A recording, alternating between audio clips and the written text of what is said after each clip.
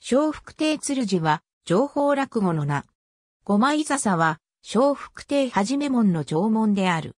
東大以前に、少なくとも三人の小福亭鶴次の存在が確認されている。月亭春松編の落語系図には四代目、小福亭昇格の門人に確認できる。俗に、引き嘘という。それ以前にもいたと思われるが、何時にいたか不明。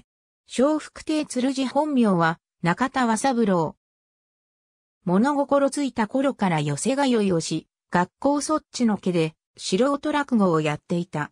後に、苦労ととして1916年に四代目昇格の門下になり、鶴寺と名乗った。その後五代目小福亭昇格の門下になった。大正末期から話家に見切りをつけて、寄せ林なり物方に転じる。戦後になって中田鶴寺と改名し、鶴寺社中を主催、なり物の保存に力を入れた。1975年、文化庁芸術祭優秀賞受賞、第5回情報をお笑い大賞の厚労省などの受賞も多い。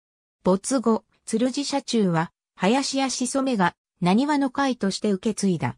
あと5代目、桂文江。小福亭鶴寺は、大阪市生野区出身の落語家。本名は、上田忠正。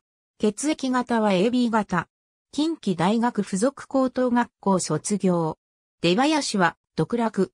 六代目小福亭昇格最後の弟子。1986年3月1日に六代目、小福亭昇格に入門。